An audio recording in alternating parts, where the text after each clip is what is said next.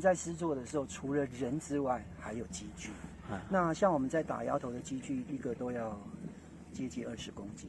哦那有时候你在很陡峭的坡面，你要再运送这些材料上去，就像我刚刚讲的园丁，你要怎么把它运送？有时候还是必须靠人，人抬着在这个陡峭。你在平面还没问题，可是你到了陡峭的地方，还要抬那些东西，真的是危险，危险性比较高，然后困难度也比较高。这些浮石不要掉下。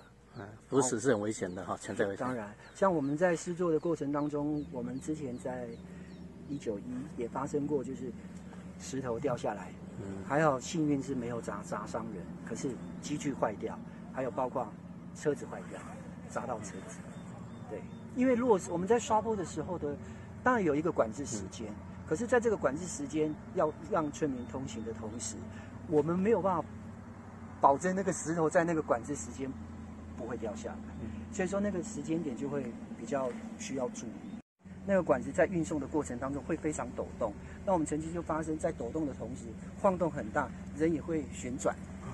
在空中旋转。对，像你这个经常在云雾中，然后有时候冬天，嗯这个工作的困难度会不会增加？呃，能见度变低，哎所以说我们都会透过对讲机哎，知道你在哪里。现在是因为天气还可以，那你到了下午之后，尤其是越高山，你到下午一点的时候，你几乎能见度不到十公尺。有时候我们在试做的面积很大，有时候人在哪边会看不到。